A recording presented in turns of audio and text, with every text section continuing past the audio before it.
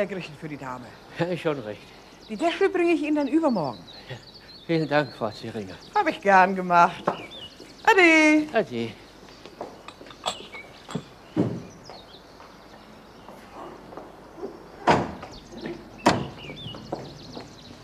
Ja, grüß Sie Gott, Oberschwester. Ja, grüß Gott, grüß Gott.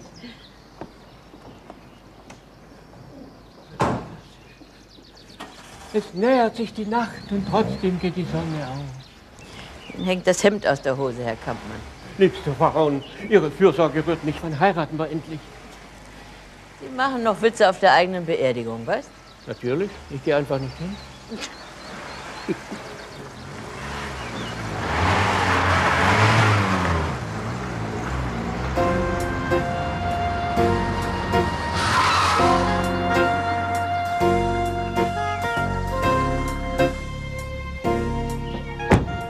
Mark 40 macht das. It's alright. Danke. Thank you. Have a nice time.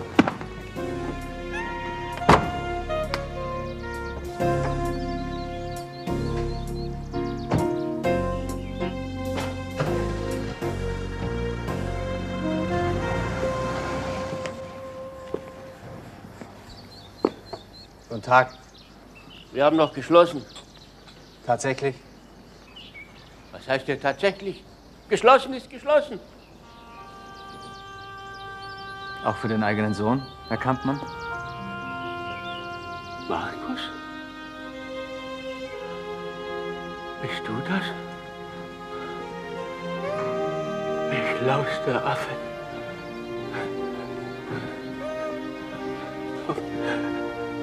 Lass dich anschauen.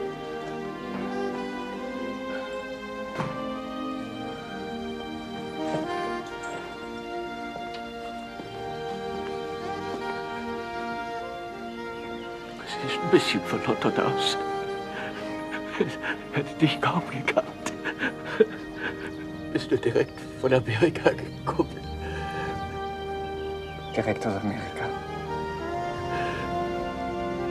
Komm noch rein.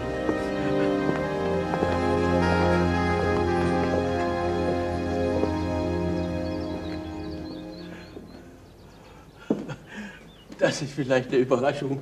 Warum hast du dich nicht vorher gemeldet? Ich hätte dich doch abholen können.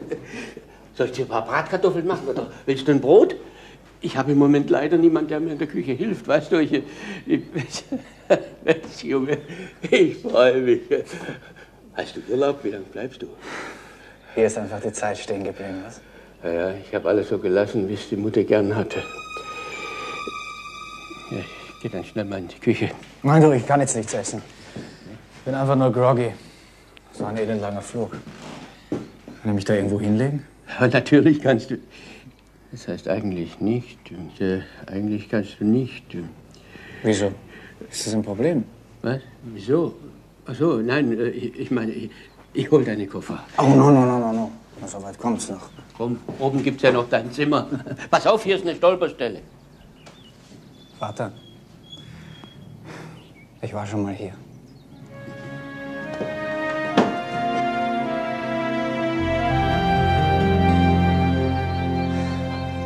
Du vermietest wieder? Nee, bitte. Ach so, weil alles ordentlich ist. Das ist nur für alle Fälle. Blumen? Ja, hübsch, ne?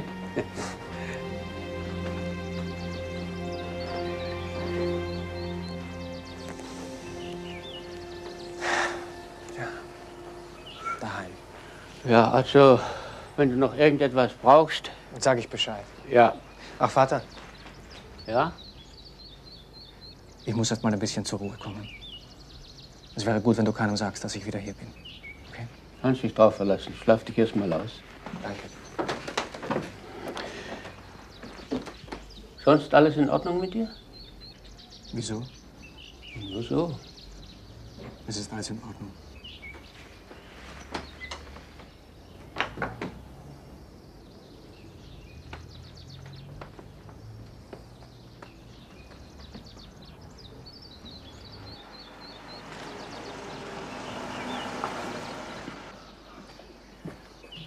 Lieber Gott, sind die auch schon da? Mache ich denn mit der Psychologin? Hängt der kommen ins Irrenhaus. Oh, ist das romantisch hier. Freut mich, wenn es Ihnen gefällt. Wunderschön, Herr Professor, wirklich. Morgen, Stock. Schönen Tag wünsche ich. Ah, Albert, fein, fein. Kann ich euch gleich miteinander bekannt machen? Das ist Frau Dr. Halver, meine neue Kinderpsychologin. Das ist Herr Kampmann, Winzer und Weinschenk. Und vor allem guter Freund.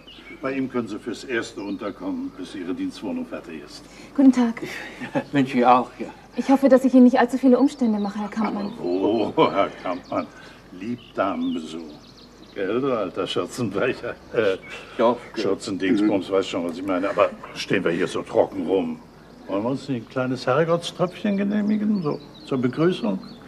Herr Kampmann und ich, wir bewirtschaften einen kleinen Weinberg, so zum Rumpopeln. Irgendwas muss der Mensch ja tun in seiner Freizeit. Reiner Eigenbedarf, aber ohne Übertreibung. Einen solchen Tropfen finden Sie ein zweites Mal nicht hier in der Gegend. Gell, Albert? Du Stock, könnte ich dich einen Augenblick allein sprechen? Es ist wichtig. Äh, ja, natürlich. Sie entschuldigen mich einen Augenblick. Bin gleich wieder da. Aber klar, ich schaue mich hier ein bisschen um. Ist ja wirklich sehr idyllisch hier. Wunderbar.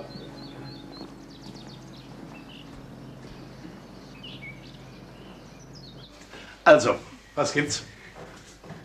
Der Markus ist zurück. Was? Dein Markus aus Amerika? Ja, und wo ist er?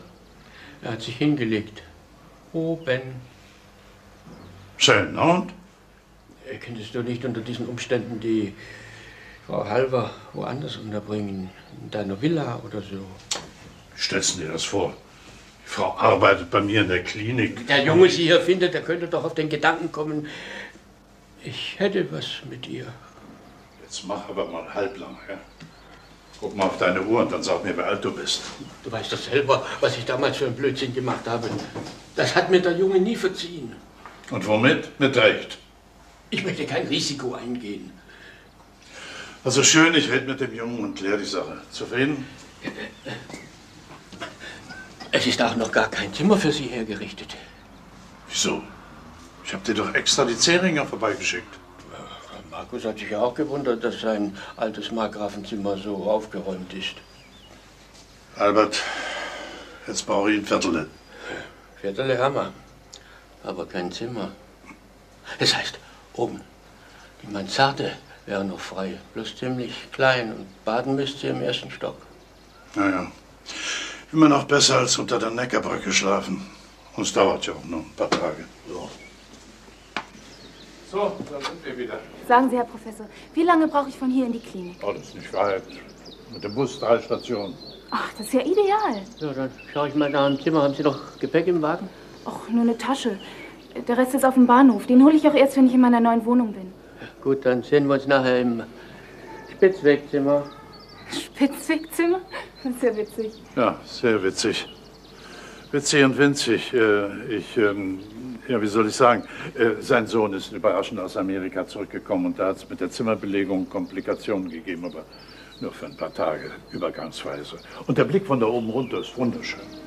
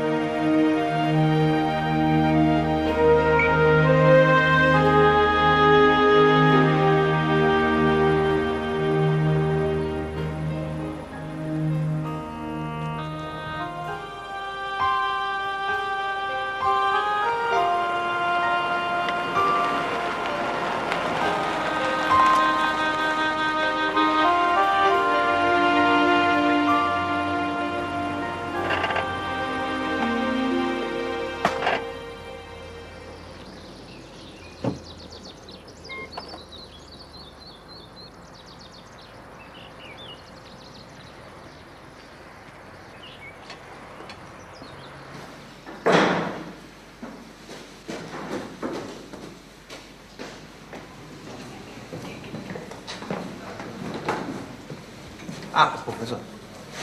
Warum tragen die Chirurgen bei der Operation immer Gummihandschuhe? Tja, warum? Wegen der Fingerabdrücke. Wegen der.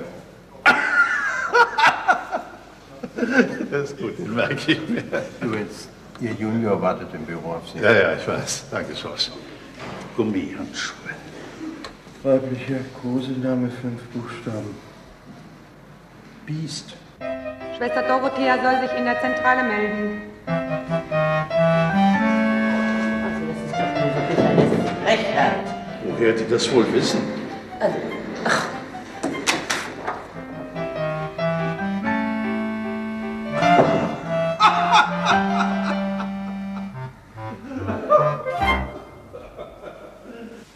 Ach, Frau Ritter. Guten Tag, Herr Wo ist Professor. mein Sohn? Hier. Du wolltest mich sprechen? Ja, Worum geht's denn? um die chirurgische. Ich habe Mareike dazu gebeten, weil sie über das notwendige Zahnmaterial verfügt. Mareike, bitte.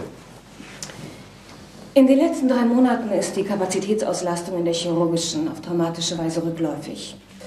Auf der Station 2 ist das ein Minus von 23, auf der 1 sogar um fast 40 Prozent.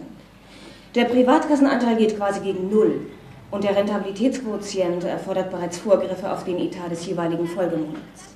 Und äh, woran liegt das eurer Meinung nach? Vater, du musst in der Frage der zukünftigen Leitung der Abteilung endlich Stellung beziehen. Das habe ich doch. Solange Graue ausfällt, bist du mit der kommissarischen Fortführung seiner Geschäfte betraut. Vater, machen wir uns doch nichts vor. Ich meine, die Spatzen pfeifen es doch schon von den Dächern, dass Graue gar nicht mehr in der Lage sein wird, die chirurgische weiterzuführen. Grauer hatte einen Infarkt. Soll ich ihn deshalb vor die Türe setzen? Mensch, Gregor, die chirurgische war doch sein Leben. Grau ist nicht dumm. Er weiß da auch, dass seine Zeit vorbei ist. Wahrscheinlich hast du recht. Und deshalb soll er auch den Zeitpunkt bestimmen, an dem er sich zur Ruhe setzt. Ist das dein letztes Wort? Ja. Und jetzt entschuldige mich bitte. Ich möchte noch auf die innere.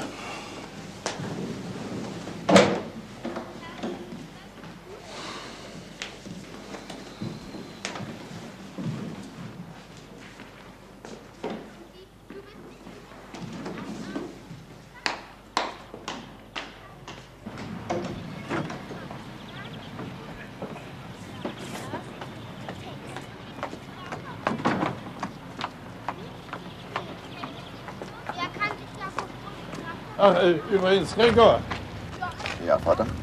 der Markus Kampmann ist wieder da. Er ist aus den Staaten zurück. Wenn du ihn anrufen willst, er wohnt bei seinem Vater. Ich habe nicht das geringste Bedürfnis, ihn wiederzusehen. Das wird sich nicht ganz vermeiden lassen. Ade.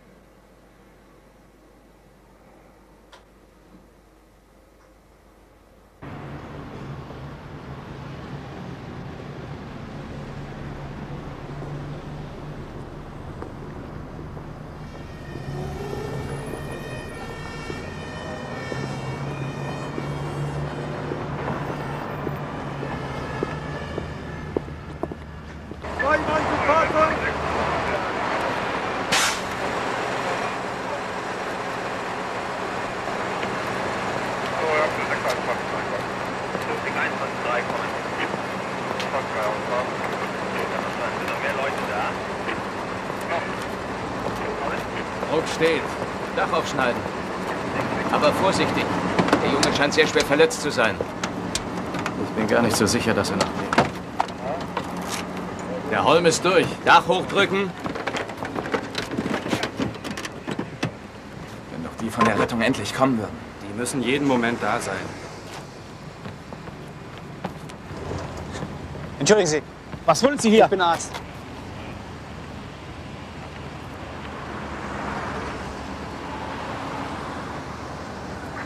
Tot. Na endlich.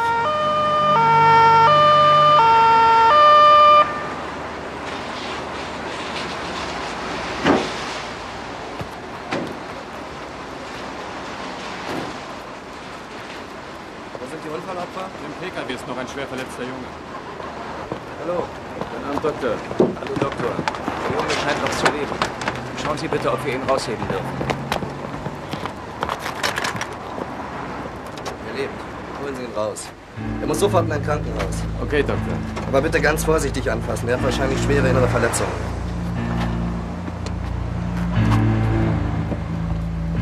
Hast ihn? Ja, ich hab ihn. Bitte passen Sie auf, dass sein Brustkorb nicht so stark zusammengedrückt wird. Alles klar.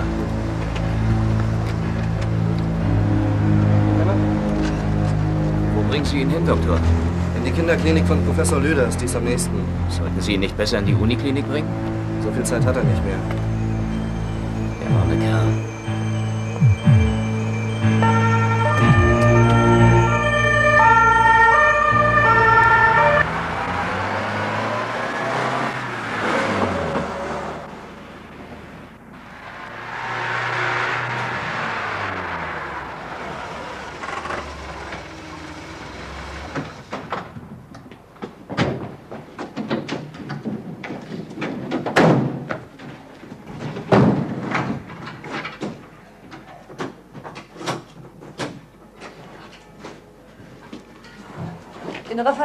Keine Anzeichen.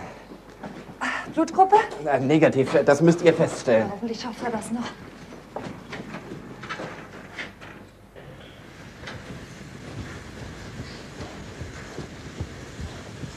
Professor Lüders, Wer hat Bereitschaft? Dr. Brock. Hier. OP2 fertig machen. Trauen Sie sich das zu, Brock? Da kann man nicht mehr viel verkehrt machen. Das ist ja der reinste Knochensalat.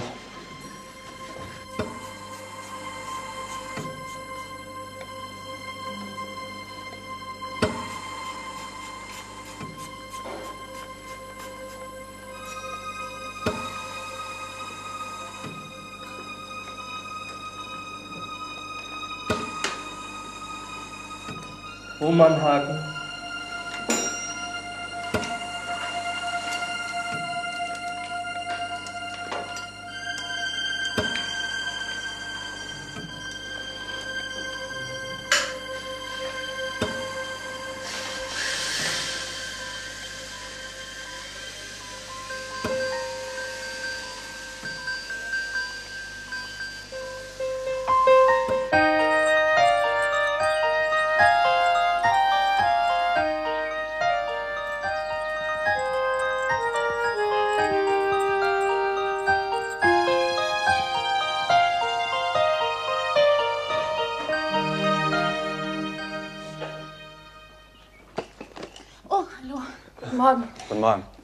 Bestimmt der Sohn.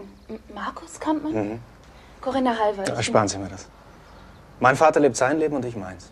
Und das ist gut so. Guten Tag.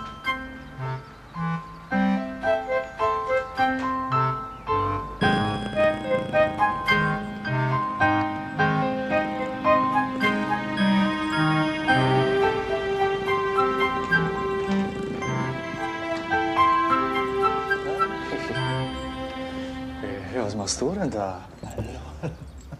Wer bist du denn überhaupt? Hm? Na, Ich weiß das selber, könntest du mich ja auch fragen. Lorchen! Lorchen, bist du hier? Lorchen, komm!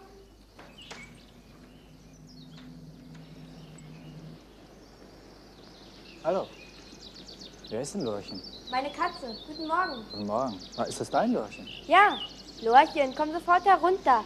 Hörst du? Komm nach Hause, du Streuner. Ich glaube nicht, dass sie da freiwillig runterkommt. Warte, ich bring sie dir. Danke.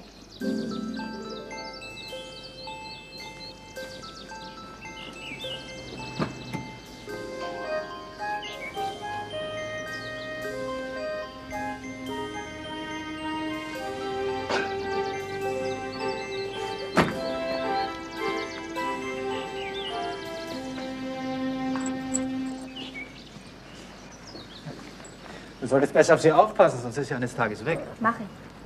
Du hast da was an der Wange. Leberwurst.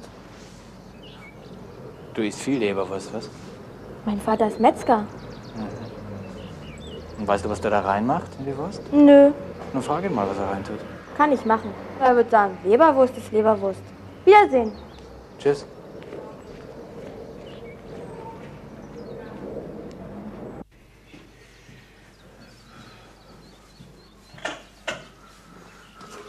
Ah, guten Morgen, Markus. Bist du schon auf? Ja. Ihr habt ja oben im Wohnzimmer ein Frühstück gerichtet. Ja, danke, ich hab's gesehen.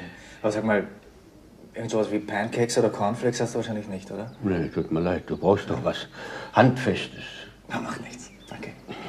Äh, Dass du dich nicht wunderst, ich habe oben, ich habe da einen Logiergast. äh, Das ist die. Vater, ich will's nicht wissen. Ja, wenn du es nicht wissen willst, dann eben nicht. In dem Zusammenhang, da fällt mir gerade ein, der Professor Lüders lässt dich grüßen. Du solltest doch keinem sagen, dass ich hier bin. Habe ich auch nicht. Nicht direkt.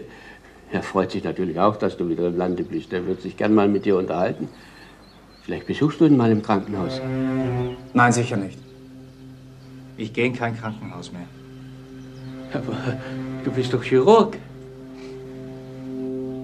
Was verstehst du denn davon? Die dich rausgeschmissen? Kann ich dir irgendwie helfen? Ja. Lass mich einfach in Ruhe.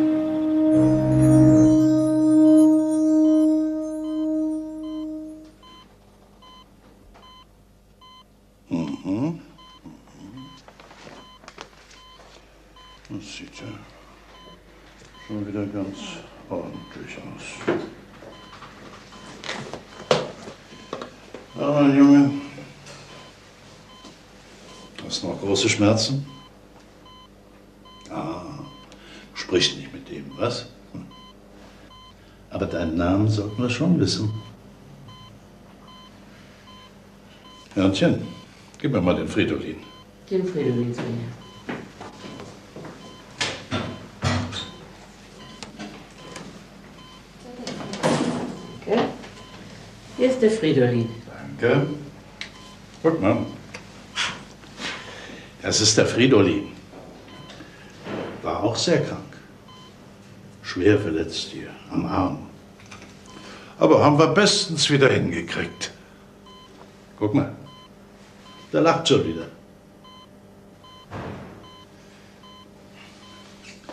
Wo sind die Röntgenbilder? Die liegen im Büro Ihres Sohnes. Da liegen sie richtig.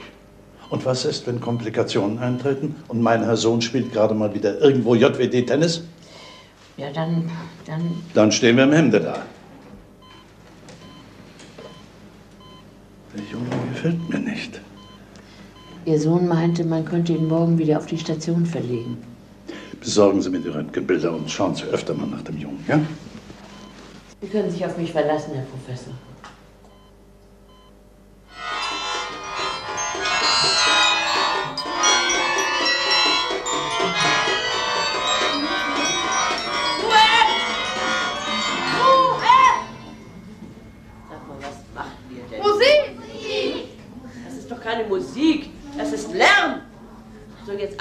Zimmer.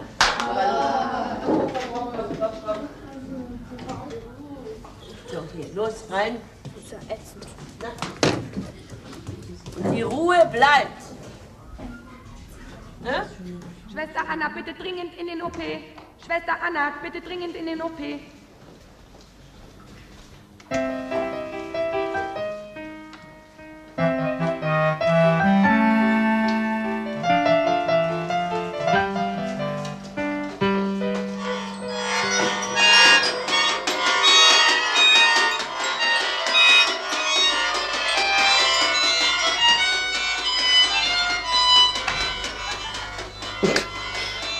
Rasselbande.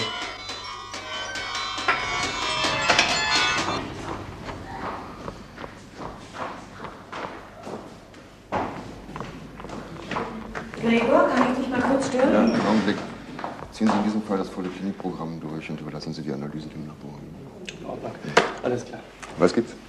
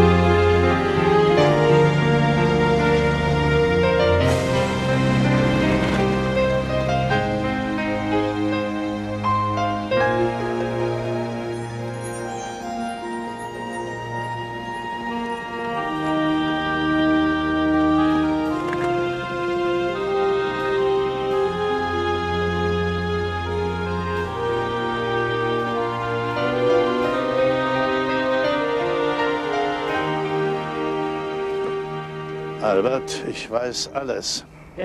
Schon in der Schule habe ich deine bescheidene Art immer gemocht. Meine über deinen Sohn. Wo steckt denn Markus jetzt? Ist was mit ihm? Hör zu. Vor ähm, etwa vier Monaten musste dein Markus in den Staaten einen Jungen am offenen Rücken operieren und sich ein harmloser Routineeingriff. Aber irgendetwas ging schief. Der Junge starb. Markus ließ alles stehen und liegen und verschwand.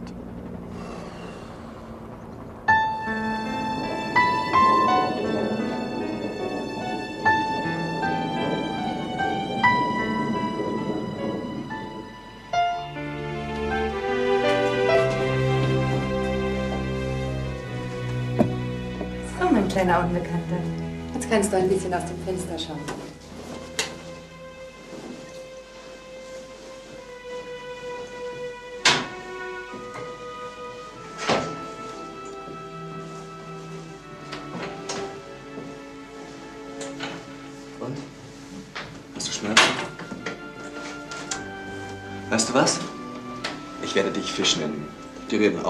Und man mag sie trotzdem leiden. Kennst du die Fischsprache? Hm? Okay. Bis später.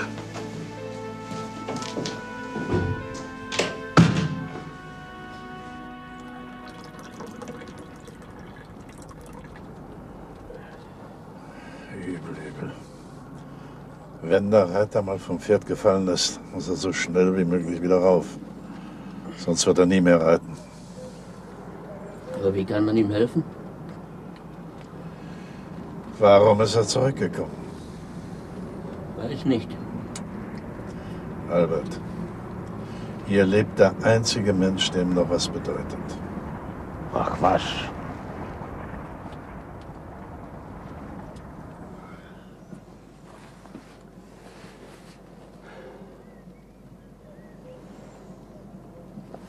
Übrigens, wie spät ist es denn? Warum? Ich muss doch die Wirtschaft aufmachen. Wann? Um sechs wie immer. Hm. Das schaffst du heute nicht mehr. Wieso? Weil es schon sechs vor sechs ist. Wetten? Die Wette halte ich. Was los? Um was wetten wir? Wie immer, Küchendienst. Einverstanden? Mit Spülen.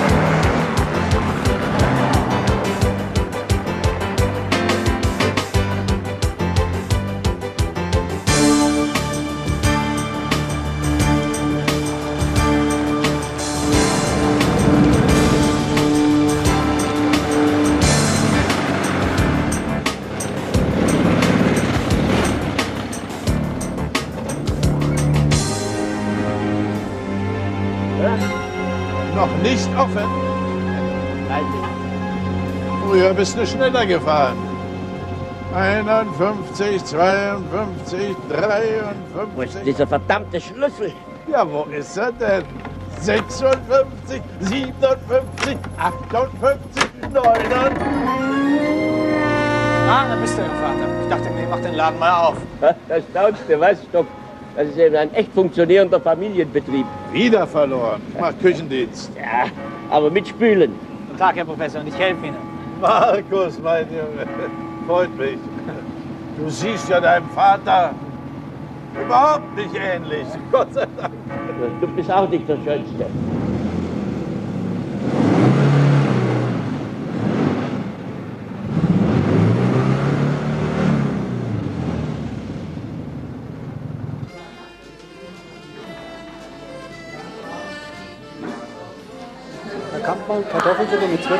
Bitte. Kartoffelsuppe mit Zwetschgenkuchen. Hier, Trolling hat mir Frau. Ich hatte Weißwein bestellt. Haben Sie meinen Postboten vergessen? Vergesse nie was. Albert, mein Trollinger. Ist schon unterwegs. Trollinger kann man nicht so flott servieren, der braucht seine Zeit. Quetschenkuchen mit Kartoffelsuppe und das Ganze ein bisschen flott. Menschenschänder. Nicht heulen, arbeiten. Lassen Sie nur, ich mach schon. Dann sehe ich dich mal in meiner Klinik. Was zahlen Sie denn? Wenig. Das ist ein verlockendes Angebot. Mal Spaß beiseite, mein alter Freund und Kollege Grauer hat eine ganz ordentliche chirurgische auf die Beine gestellt. Naja, ich habe sein Referat über Esophagus-Atresin gelesen. Exzellente Arbeit. Grüßen Sie ihn von mir, wenn er sich noch an mich erinnern kann. Und natürlich. Du warst doch Famulus bei ihm. Ja. Naja. Hoffentlich ist er bald wieder auf dem Damm. Ist er krank? Herzinfarkt. Und wer vertritt ihn? Im Augenblick mein Sohn. Was? Gregor ist Chirurg geworden. Und ich dachte, er wird. Kardiologe wie sein Vater. Nee. Und äh, wie macht er sich so? Er ist Oberarzt. Aber seine Dienstpläne sind vorbildlich. Tatsächlich. Vielleicht könntest du ihm hin und wieder mal unter die Arme greifen. Nein, vergessen Sie es. Ich bin draußen. Den Kinderchirurgen Markus Kampmann gibt's nicht mehr.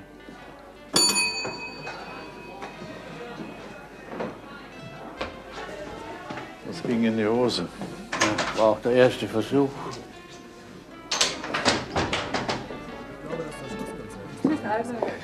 Na, wenn es Ihnen nicht geschmeckt hat, sagen Sie es einfach nicht weiter. wunderbar, Albert. Ist sogar Restaurants hier gewesen. Albert, Ja? dein Junge macht mir Sorgen. Warum? Er muss arbeiten. Ein guter Chirurg muss operieren, sonst verlernt er alles. Ja, aber wie bringen wir ihn in deine Klinik? Das bringt Unglück. Ach komm, von rechts nach links, Glück bringt. Und von links nach rechts?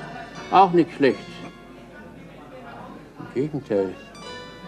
Bringt mich sogar auf eine Idee. Hoffentlich auf eine gute. Ich habe immer gute Ideen. Lass hören.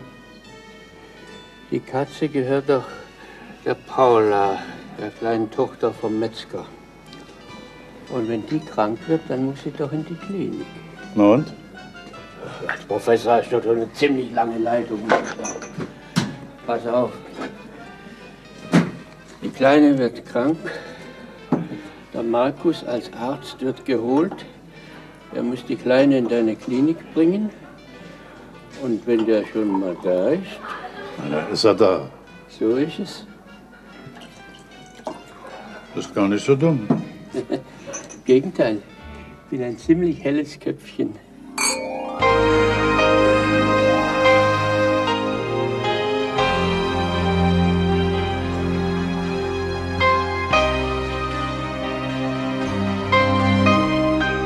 Also pass auf, Paula. Du wirst schlicht und einfach krank. Wieso soll ich krank sein, wenn ich gar nicht krank bin? Das habe ich dir doch gerade erklärt. Ich hab's aber nicht verstanden. Musst du auch nicht. Wichtig ist, dass du auf krank machst. Du hast hier Schmerzen, klar? Und 10 Mark ist eine Menge Geld. 20 sind mehr. Also gut, 20. Dafür habe ich dann aber auch mehr Schmerzen.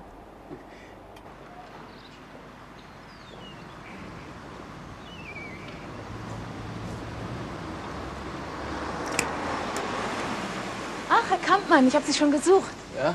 Vielen Dank für Ihre Gastfreundschaft. Gern geschehen. Als Revanche lade ich Sie da mal zum Essen ein. Aber nicht hier bei mir. Nein, ich dachte, es würde Ihnen gefallen. Ich bewahre. Mit Ihnen will ich doch was Anständiges essen. Übrigens, Ihr Sohn kann mich wohl nicht besonders gut leiden. Das hat nichts mit Ihnen zu tun, aber das ist eine lange Geschichte. Und wie ist die neue Wohnung? Groß. Schönen Tag noch. Ja, auch und viel Glück. Tschüss. Tschüss.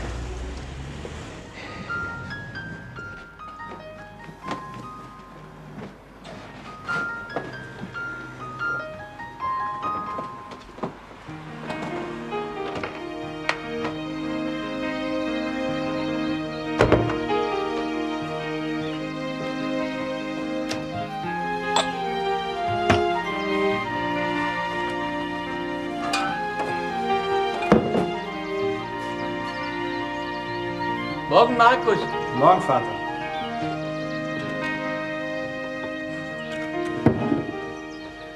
Habt ihr Cornflakes mitgebracht?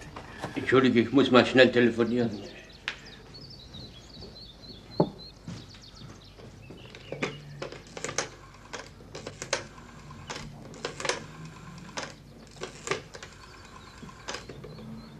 Hallo? Ist das die Kinderklinik? Äh, Kann ich mal schnell den Professor Lüder sprechen? Oder einen anderen Arzt? Ah, Visite. Ja, da kann man nichts machen. Ja, dann soll mich der Professor zurückrufen. Albert Kampmann. Jawohl.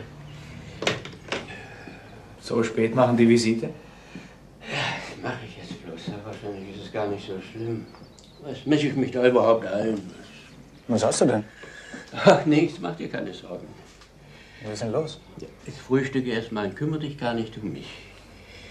Kann ich dir nicht irgendwie helfen? Vielleicht ist nur eine Magenverstimmung. Fühlst du dich nicht wohl?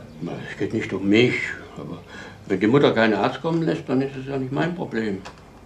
Komm, was ist denn passiert? Ach, nichts wahrscheinlich. Wenn man der kleinen Tochter vom Metzger, der Paula, hier auf den Bauch drückt, dann tut es ihr eben furchtbar weh. Wo ist denn das Mädchen? Na, wo wohl? Drüben beim Metzger. Ja, und dann schrie sie plötzlich auf und klagte über Schmerzen im Bauch und fing an zu heulen und schrie ganz laut. Ein begabtes Kind. Ich meine natürlich ein armes Kind. Glauben Sie, dass es was Schlimmes ist? Das kann ich so nicht sagen. Aber Sie sind doch Arzt. Frau Philipsen, ich muss doch Ihre Tochter zuerst sehen und untersuchen. Ja. Haben Sie auch wieder recht. Kommen Sie. Hat sie heute früh Leberwurst gegessen? Leberwurst? Keine Ahnung. Sie macht sich ihr Frühstück immer selbst. Ich stehe den ganzen Tag im Geschäft. Ach, nichts als Sorgen hat man mit den Kindern. Wie viel haben Sie denn? Nur die eine. Sie sollten sich keine Sorgen machen. Mein Sohn hat in Amerika studiert. Hoffentlich hat's was genützt.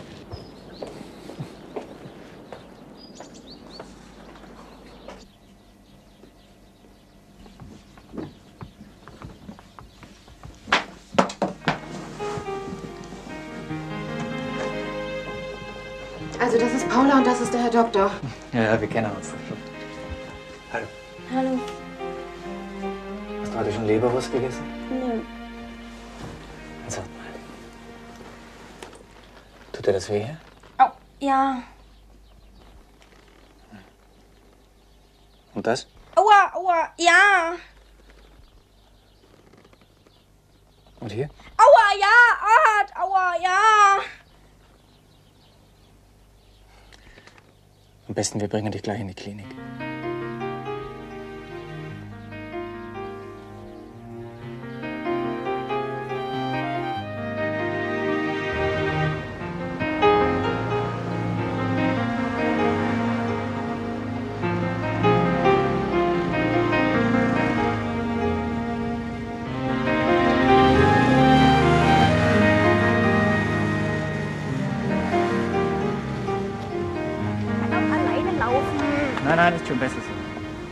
Professor erwartet Sie schon. Kann doch gar nicht sein. Ist aber so. Ich sag nicht so. Bitte, wenn Sie wollen, ist es nicht so. Herr Professor, ich müsste eigentlich auf meine Station. Hörnchen, jetzt wird nicht gekniffen. Also gut, ich werde in der Aufnahme Bescheid sagen, dass Sie gleich kommen.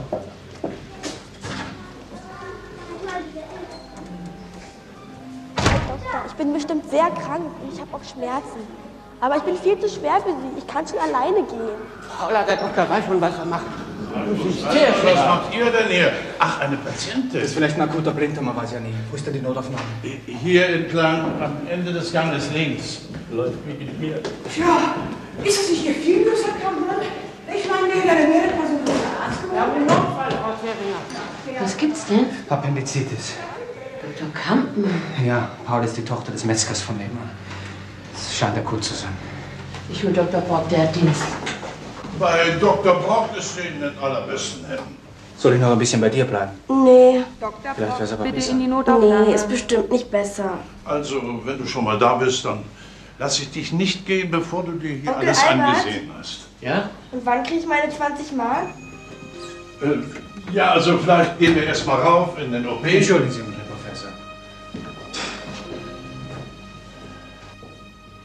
Pass auf, Paula. Wir machen jetzt einen kleinen Test, ja?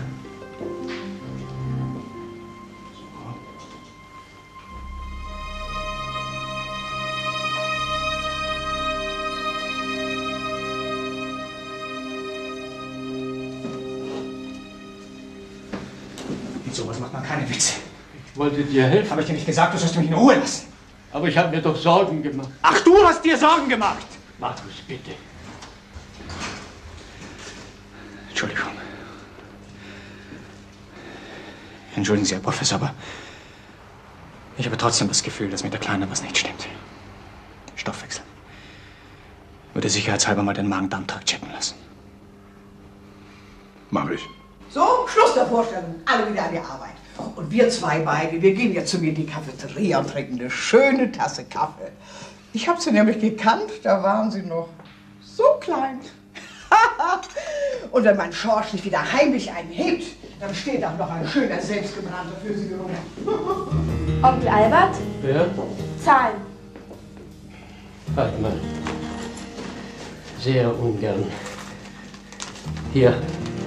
Auch wenn es in die Hose ging. War nicht meine Schuld. Ich habe gut gespielt. Tschüss. Halt!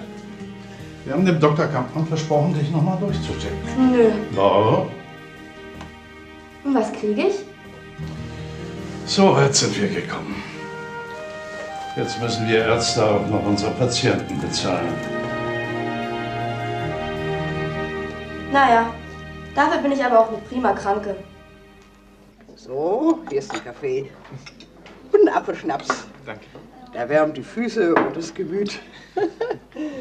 Das ist ein Eigenbau von meinem Schorsch. Ja, der Professor, der hat doch einen Obstgarten eingerichtet für die Kinder. Und Schorsch ist ja auch ein großes Kind. Ja, isst die Äpfel nicht, der trinkt sie sozusagen. Ja, so ist es. Der Albert, ihr Vater, der hat ja auch seine Ecken und Kanten. Aber das ist ein anständiger Kerl. Wie lange kennen Sie ihn denn schon? Oh, 25 Jahre bestimmt. Ach so. Nee, nee, nicht was Sie denken. Ich hab doch meinen Schorsch. Und gegen den hat der Albert nie eine Chance gehabt. Naja, die Geschmäcker sind eben verschieden. Und die Ohrfeigen auch. Oberarzt Dr. Lüders, bitte ins Sprechzimmer vom Professor kommen.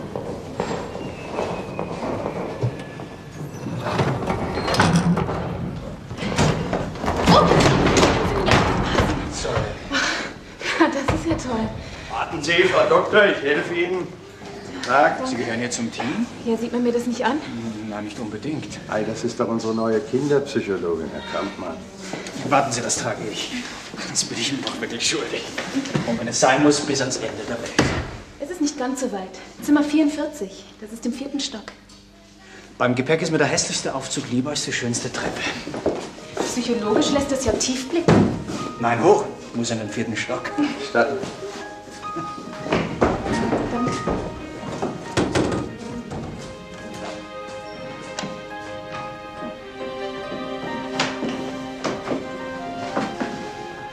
So, hier ist es. Wenn Sie sammeln Sie Steine? Literatur. Schweres Fachgebiet. Naja. Kinderpsychologie scheint man hier wirklich sehr ernst zu nehmen. Ja, das verfolgt mich.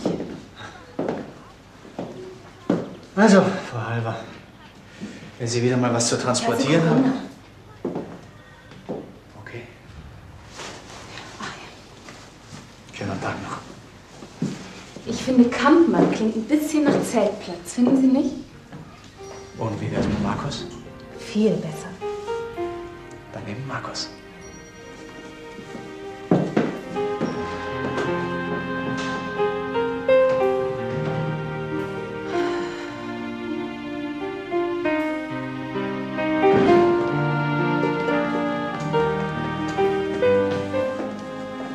Was macht ihr denn da oben? Was ist denn das für eine Knalltüte? Ist die Mutter oder böse? Und wer seid ihr? Piraten auf der Flucht.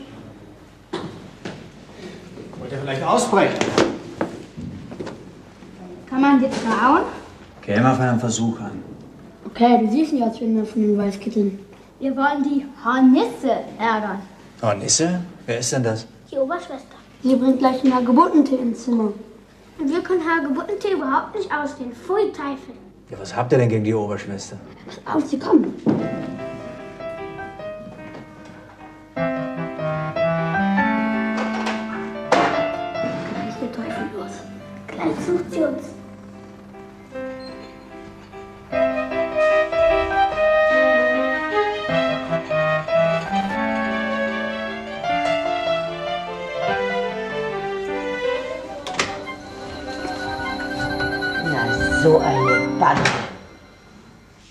Können sich ja was gefasst machen.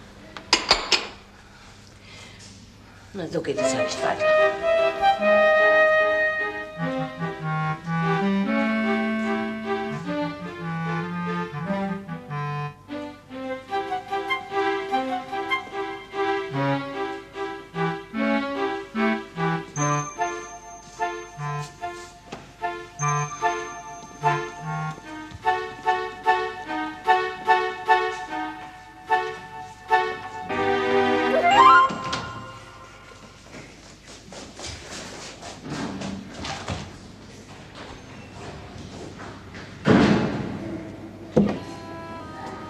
Sage, die sind verschwunden, dann sind sie auch verschwunden.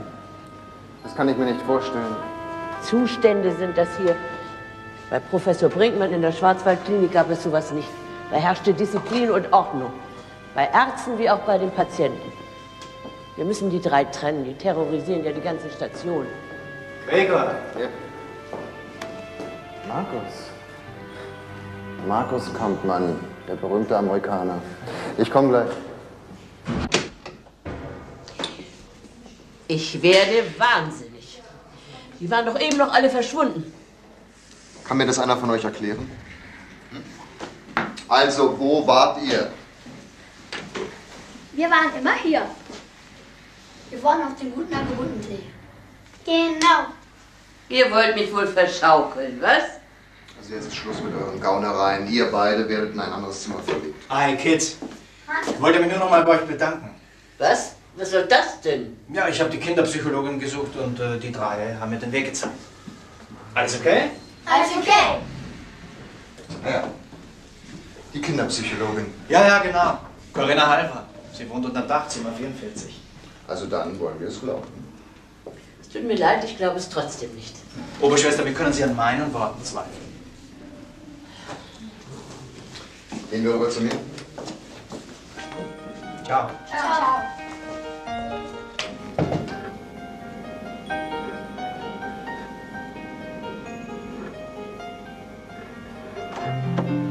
Ich habe schon gehört, dass du wieder in der Stadt bist. Kaffee? Ja, gern. Das ist hier unser Versuchslabor. Ich bastel gerade ein bisschen an unserer medizinischen Zukunft. Kann doch nicht wahr sein. Doch. Das ist ein lasergesteuertes Ultraschallskalpell. Du kennst sowas? Ich habe damit schon gearbeitet.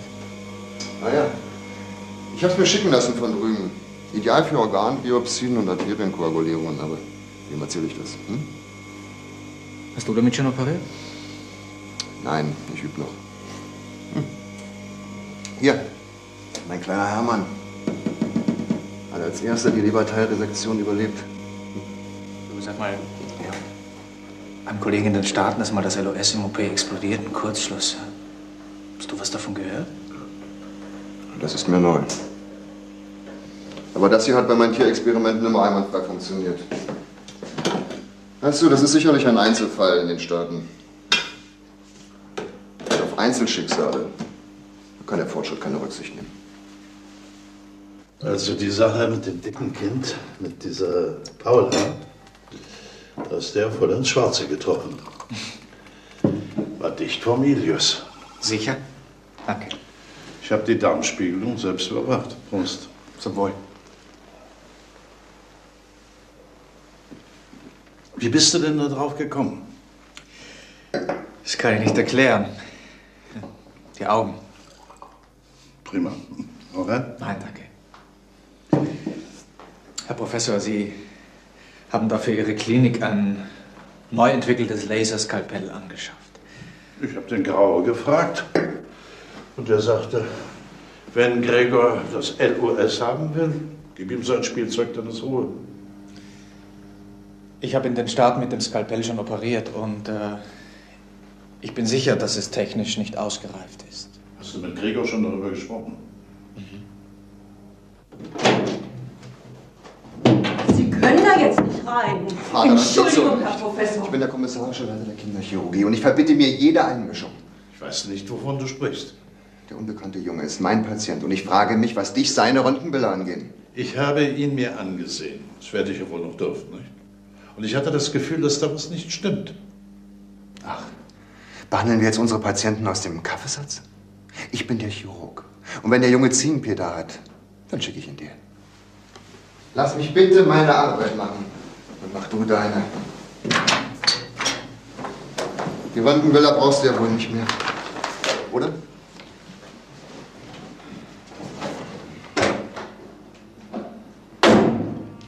Profilneurose.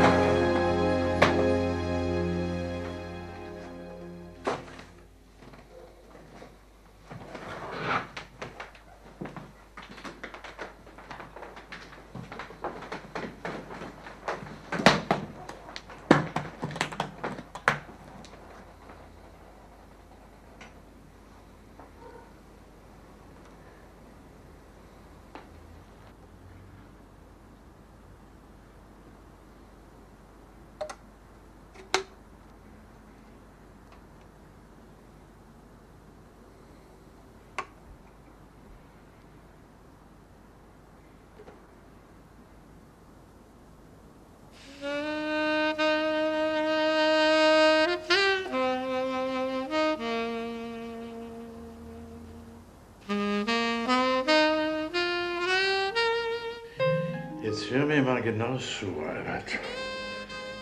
Mich rufen Kollegen aus Südamerika an und fragen mich nach meinem Gefühl. Das tun die. Die wollen das wissen. Ich bin nämlich eine Kasper, eine Kapazität. Aber mein eigenes Kind?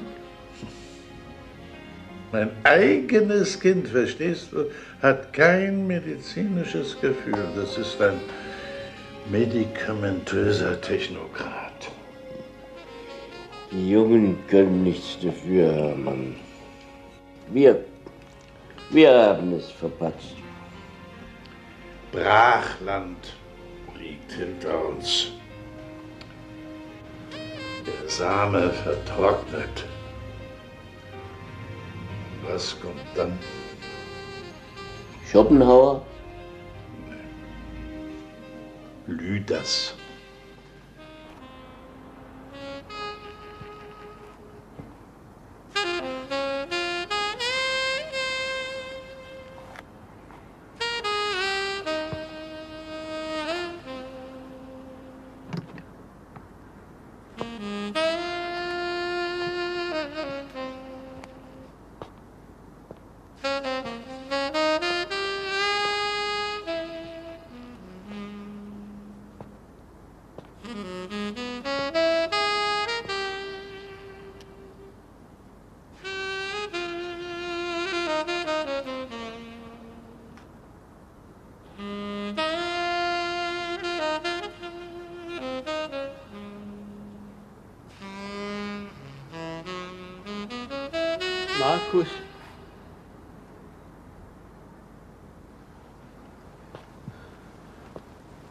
Müssen reden, Markus.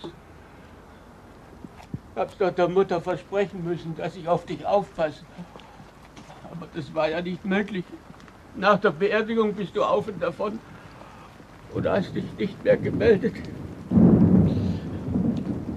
Ich weiß, ich habe mich erbärmlich benommen. Und es gibt auch keine Entschuldigung dafür, was ich deiner Mutter angetan habe. Aber es lässt sich nicht ändern, wenn ich es wieder gut machen könnte. Und dann kommst du und ich verpatze es wieder. Gib mir noch eine Chance.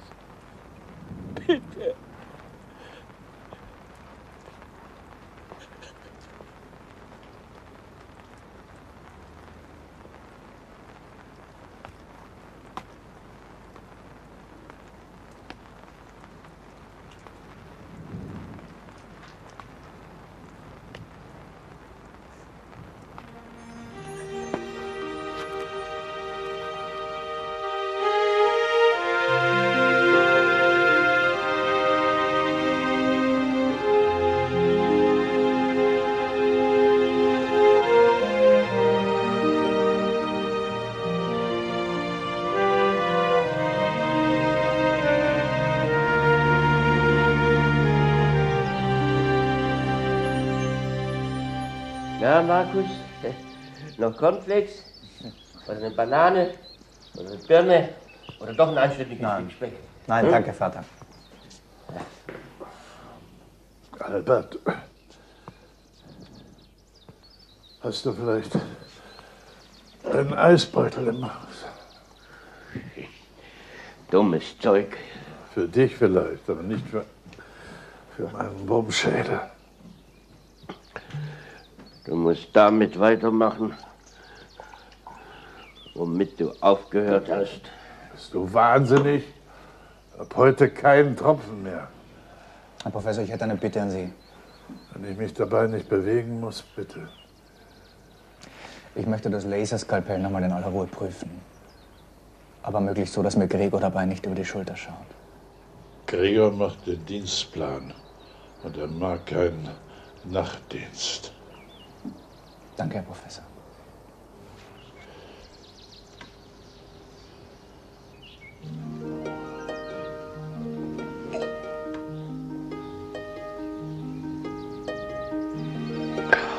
Und? Besser? Nee. Aber es stört mich nicht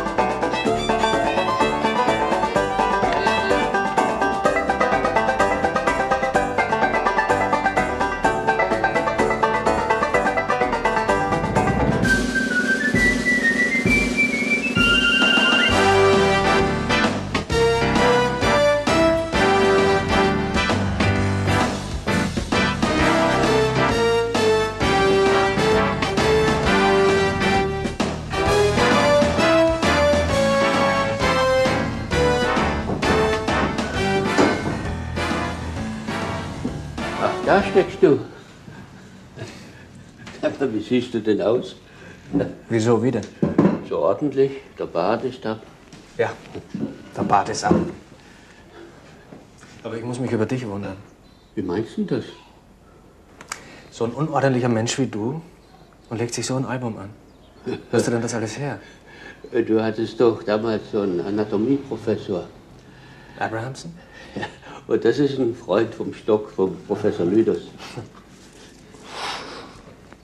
Schau mal. Schau mal her. Joseph Cooley und ich. Das war eine Darmtransplantation bei neugeborenen Zwillingen. Und da hat er mich extra aus Providence als Assistenten angefordert. Sauschwere Operation. Ich bin stolz auf dich.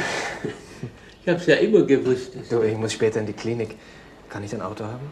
Natürlich. Ich fahr sowieso lieber mit dem Motorrad.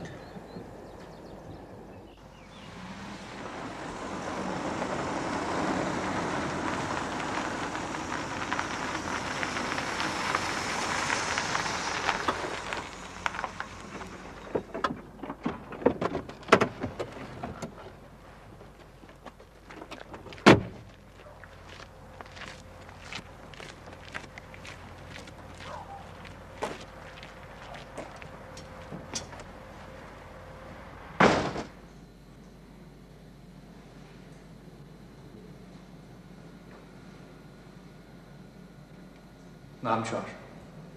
Ach, Doktor. Weiß schon Bescheid. Die Luft ist rein. Okay.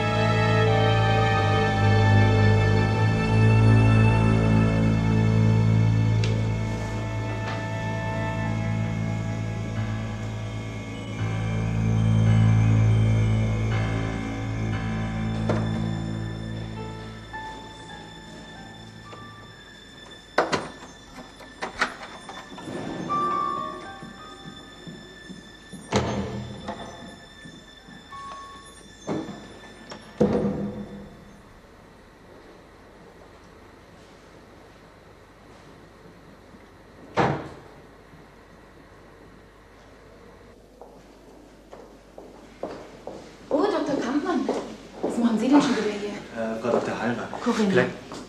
Ach, sorry, Corinna. Vielleicht können Sie mir helfen. Hier muss irgendwo ein kleiner Junge liegen, der einen schweren Autounfall hatte. Und ich war dabei, als man ihn vor ein paar Tagen aus einem Wrack herausgeschnitten hat. Ja. Und was ist mit ihm? Ich würde mir den Jungen gerne mal ansehen.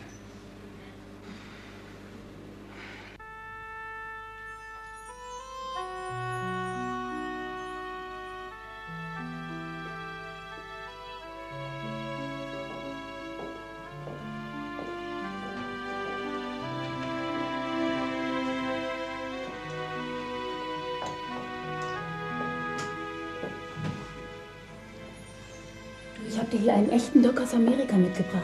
Der möchte dich gern kennenlernen. Hallo. Da war mal ein kleiner Junge auf der Isolierstation. Wochenlang lag er einsam hinter einer dicken Glasscheibe. Und keiner, der dem Jungen einfach nur mal so übers Haar strich. Aber in der Nacht, als es still wurde, da kamen die Zwerge und die Grottenolme und die flogen mit ihm hinauf bis zum Mond. Und jeder, der ihn jetzt sehen konnte, er musste ihn für eine Sternschnuppe halten. Und das war ein gutes Gefühl. Denn Sternschnuppen bringen Glück.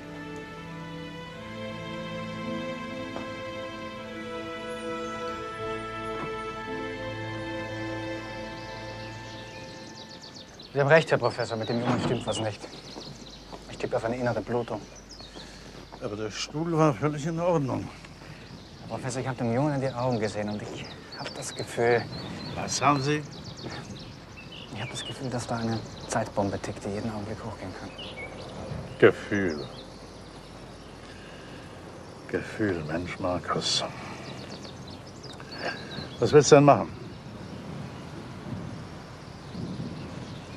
Herzkatheter. Einverstanden. Danke. Geht denn wieder los? Na, guten Morgen. Morgen, Herr Professor. Gregor, ich möchte bei einem deiner Patienten eine Herzkatheteruntersuchung vornehmen. Bei welchem? Fraktur Arm und Bein. Rückgratverstauchender Unfall. Warum? Weil ich es medizinisch für erforderlich halte. Oberschwester, veranlassen Sie, dass der Patient von Zimmer 114 in die Kardiologie gebracht wird. Ja, natürlich. Schwester Hilde, bitte in die Notaufnahme. Schwester Hilde, bitte in die Guten Morgen, Herr Notaufnahme.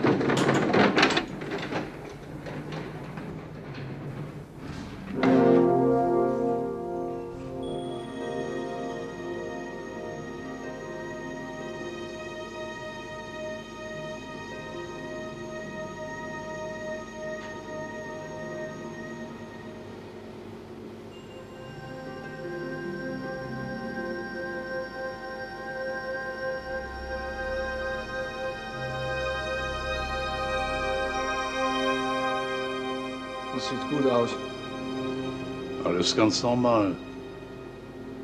Ja, Sie haben recht.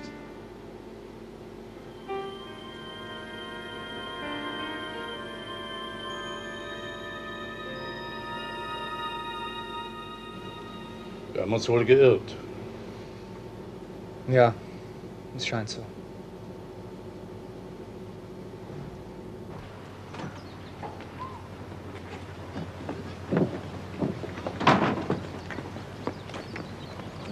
Ist mit dem Jungen? Nichts.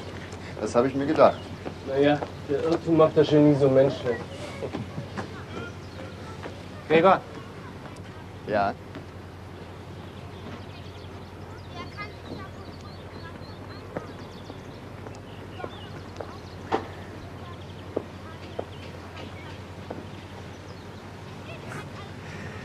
ich weiß, es spricht alles dagegen, aber ich werde das verdammte Gefühl nicht los, dass da irgendwas übersehen wurde. Gefühle zählen nicht.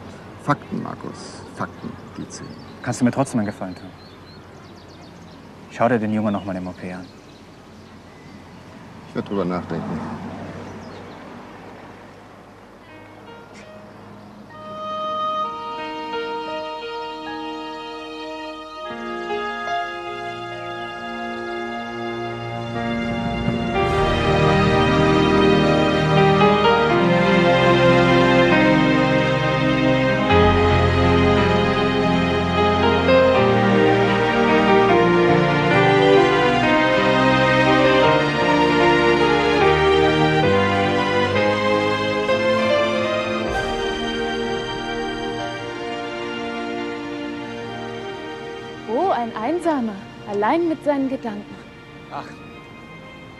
Ich jetzt sagen, eine Einsame. Allein mit ihren Gedanken. Ich sag's aber nicht. Guten Tag. Hallo.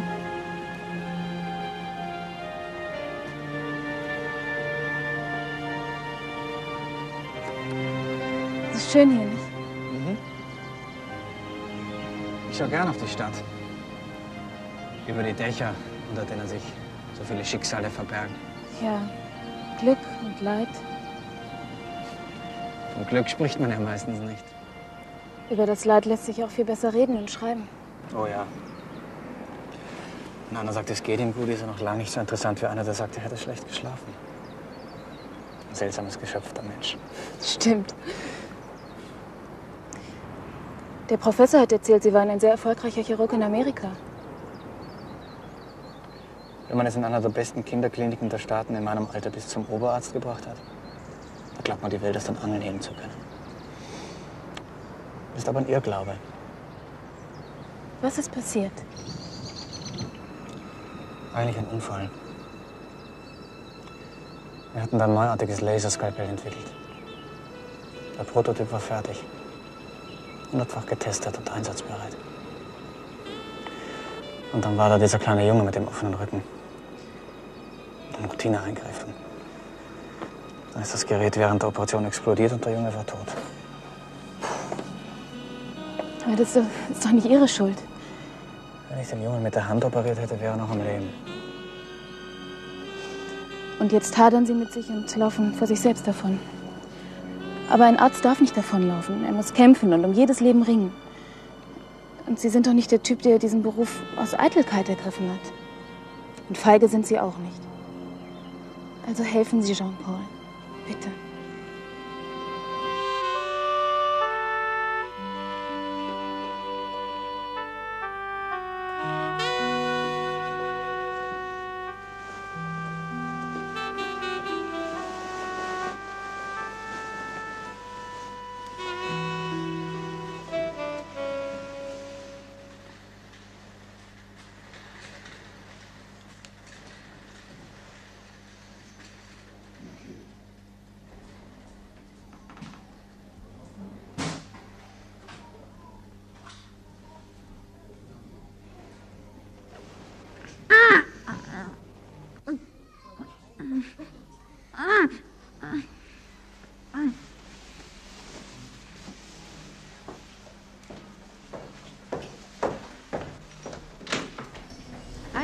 Der Station 2 möge gleich zu Zimmer 218 kommen.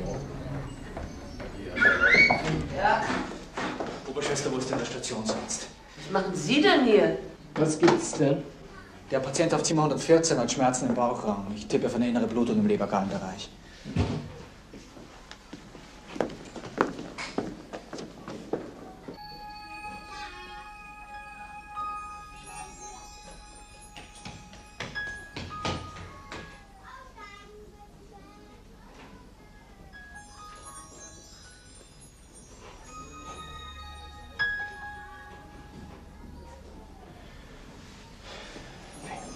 Also ich kann da nichts feststellen. Der Junge redet ja auch nicht. Ist Gregor noch im Haus? Wissen Sie eigentlich, wie spät es ist? So gut, hören Sie zu. Ich rate Ihnen jetzt als Kollege und ich kenne mich da ziemlich gut aus. Ja, ich weiß, Dr. Kampmann. Ich habe von Ihrer letzten Operation gehört.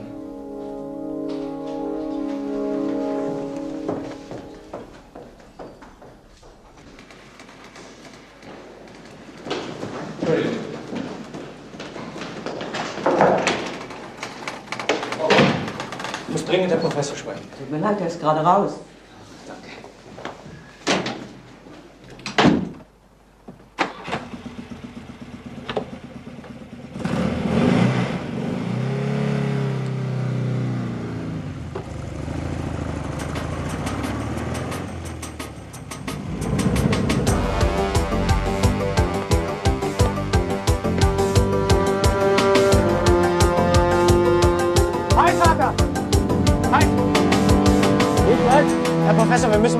Unternehmen. Ich befürchte, bei dem Jungen ist eine innere Verletzung aufgebrochen. Und der Stationsarzt, der stellt sich stur. Albert, Ende der Weinprobe. Zurück in die Klinik. Die, Herr Professor, befehlen.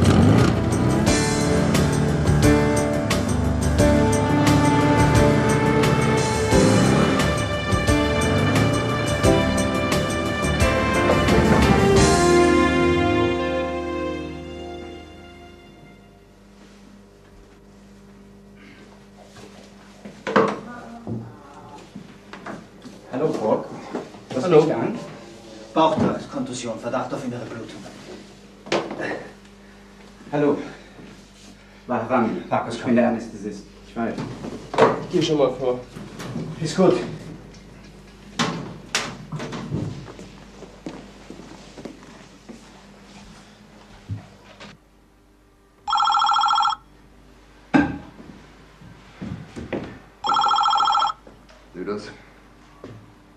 Blöde Frage, natürlich bin ich es selber. Was? Das ist doch nicht möglich. Wer hat das veranlasst? Ihr Herr Vater.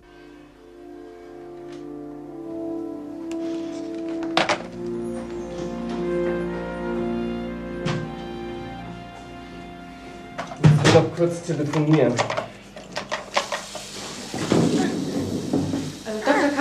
Ja. Können Sie bitte mal kommen? Sofort.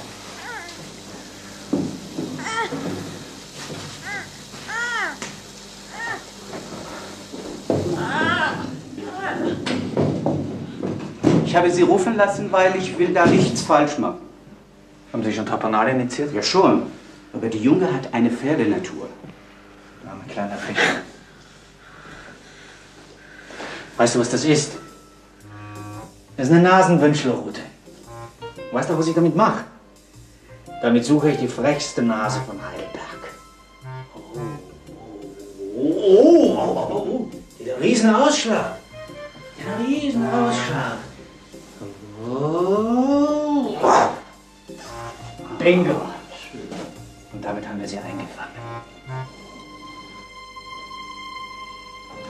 Schwester Hilde, bitte in die Notaufnahme. Schwester Hilde, bitte in die Notaufnahme.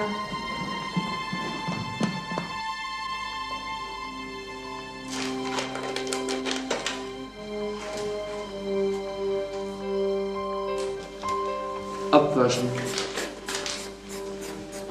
Wenn Sie so gut operieren, wie Sie mit Kindern umgehen, dann sind Sie ein Spitzenchirurg.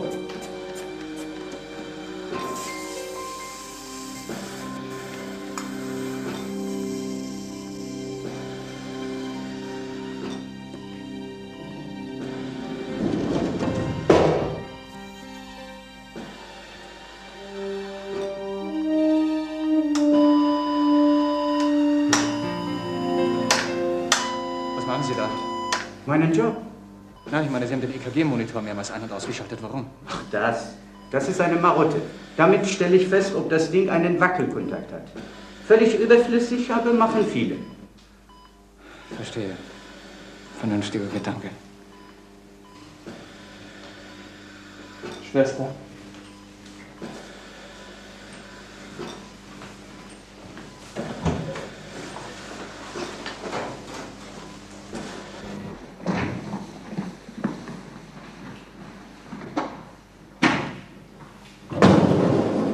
Was passiert hier? Herr Dr. Kampmann möchte eine Laparotomie durchführen. Verdacht auf innere Blutung. Und warum weiß ich nichts davon? Gregor, hör zu. Dr. Kampmann, verlass bitte augenblicklich den OP. Können wir das nicht in aller Ruhe regeln? Ich glaube, dass auch Professor Graue in diesem Fall. Ich war vorhin gerade bei Professor Graue und seine offizielle Rücktrittserklärung liegt bei meinem Vater auf dem Schreibtisch. Und als nunmehr allein verantwortlicher Leiter dieser Abteilung fordere ich zum letzten Mal auf, diesen Raum zu verlassen.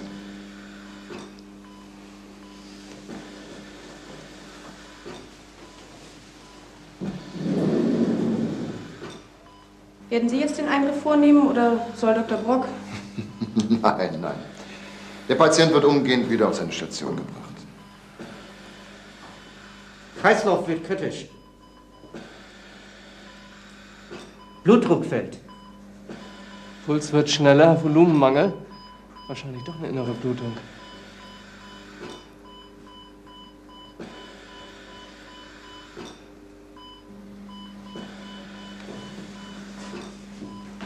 Wir machen ihn auf.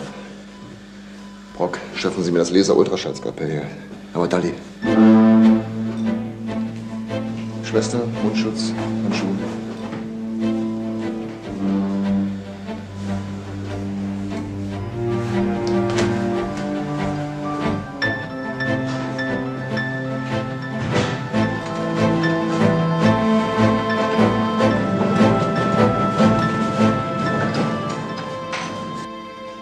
Dürfen Sie nicht zulassen.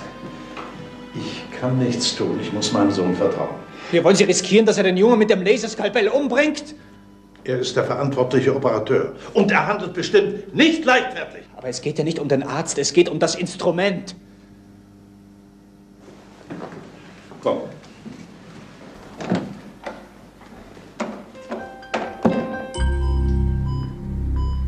Bicarbonat läuft.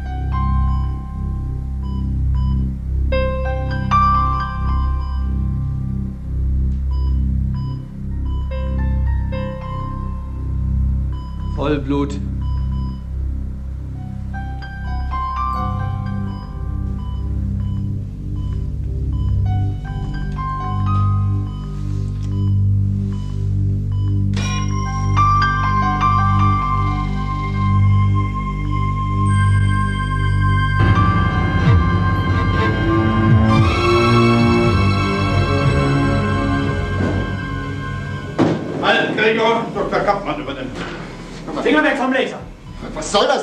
Skalpell.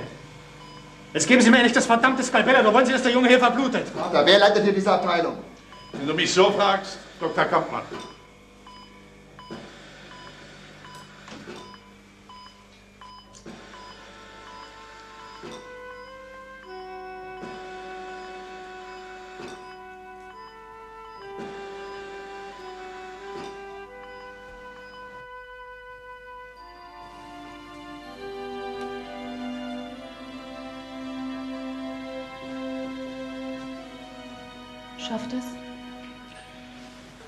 Er hat viel Blut verloren, aber ich habe ein gutes Gefühl. Ein gutes Gefühl?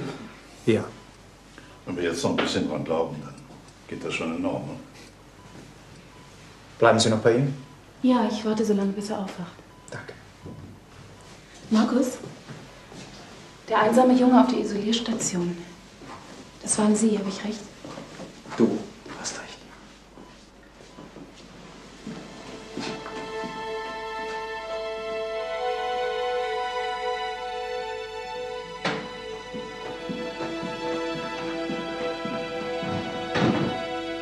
Gregor, ich möchte gern was zeigen. Kommst du mal mit?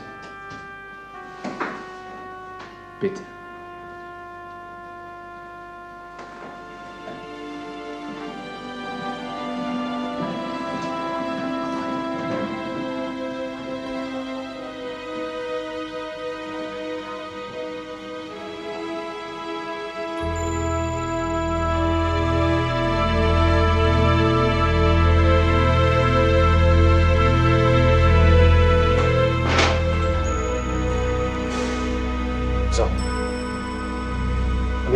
Das Skalpell.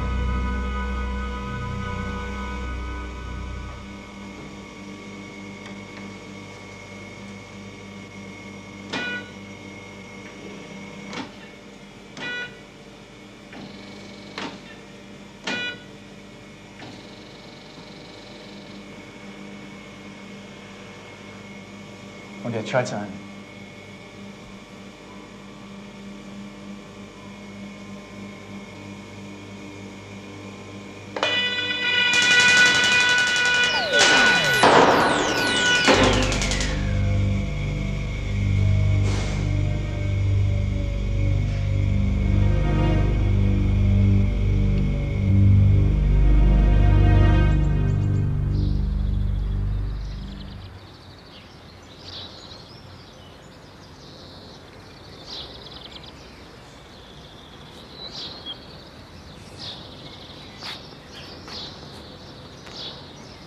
Schauen Sie mal, was ich da habe.